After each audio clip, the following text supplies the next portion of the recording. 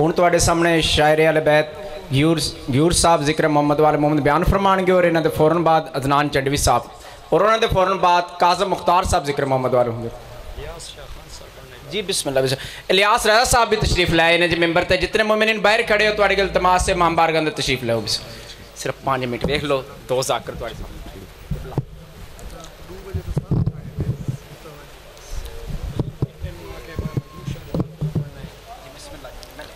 दुआए हज़रत ज़माना औज़बिल्लिमिनशैतानरजीम बसमीम अल्लाहुम्मा कुल्ल वली कल हज़रत इब्न हसन सलवतुक अलैहि व अला आबाही फ़ी हाज़िहि साहते व फ़ी कुल्ल साह वलियन व हाफिज़न व कायदन व नासिरन व दलीलन व आईना तदुस्किन वर्ज़क़त व तमत्ते फ़ी तवीला।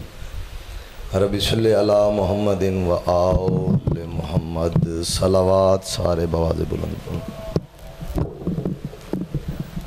सलवात तदाद काफ़ी, सारे मिल के बाजमात, सलवात पढ़ो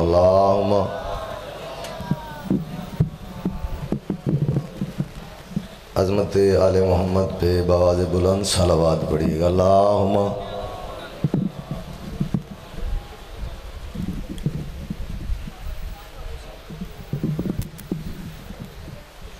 खड़ा करो।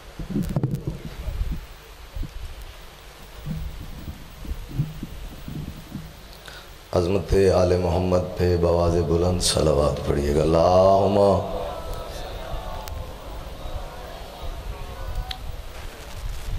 हुसैन कायनात का वाहिद लीडर है,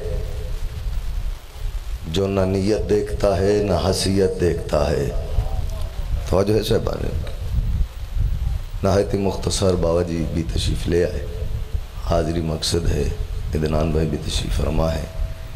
हुसैन कायनात का वाहिद लीडर है जो न नीयत देखता है, न हसीयत देखता है। वो बाकमाल इस बादशाह को मानने के लिए न शिया होना ज़रूरी है, न सुन्नी होना ज़रूरी है। वजह, इस बादशाह को चाचा जी मानने के लिए फ़कत अम्मा का शरीफ होना ज़रूरी है। सुबहान अल्लाह जी सुबहान अल्लाह जी, मालिक। आपकी तोफ़ीक़ात में इजाफ़ा फरमाए। बस एक का एक जुमला और और मेंबर मैं सैदादे के हवाले करने लगा हूँ। क्योंकि हाज़री लंबा सफ़र मैंने भी किया था, बानियान की भी मजबूरी होती है। हुसैन इतना बड़ा बाबा जी करीम है जो मैंने कहा है, जो न नीयत देखता है, ना हसीयत देखता है। इसी जुमले पे बोल पड़ो, मैं मेंबर सईदादे के हवाले करूँ। मैंने कहा, ना नीयत देखता है, ना हसीयत देखता है। ये जो कायनात में सारे मेंबर बनाते हैं, चाचा जी, ये हुसैन को नहीं मानते। मेहरबानी भाईजान, शुक्रिया। ये सारे जो स्पीकर बनाते हैं, ये हुसैन को चाचा जी नहीं मानते। जो सारे शामियाने लगाते हैं, ये हुसैन को नहीं मानते। लेकिन क्या कहने तेरे हुसैन के, कितने बदनीतों को भी हुसैन रिस्क दे रहा है? सुबहान अल्लाह भाई सुबहान अल्लाह ये आज सलामत रहे जो फजीलत हुसैन पे उठे मालिक आपकी ज़िंदगी दराज फरमाए। बस। इस करीम हुसैन बाबा रज़ी शाह जी, इस बादशाह की बेटियों को मुसलमानों ने बड़ा मारा है। मालिक आपकी हाय कबूल फरमाए जिसने हाय की है। लेकिन चाचा जी, अली की एक बेटी को और एक बेटे को मुसलमानों ने बहुत मारा है। बेटे का नाम अब्बास है, बेटी का नाम जैनब आलिया है। अल्लाह अकबर। मालिक आपकी हाय कबूल फरमाए, जिसने हाय की हाय में शामिल होना मेंबर में सैयद के हवाले करने लगा हूँ। अली की एक बेटी को बाबा रज़ी शाह जी और एक बेटे को बहुत मारा है। मालिक आपकी मुश्किल को आसान फरमाए।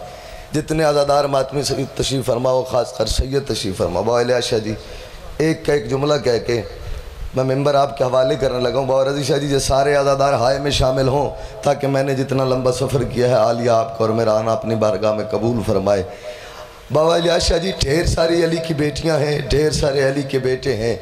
लेकिन इस बात की चाचा जी आज तक समझ नहीं आई, मारा फ़कत अब्बास और आलिया को क्यों ज़्यादा?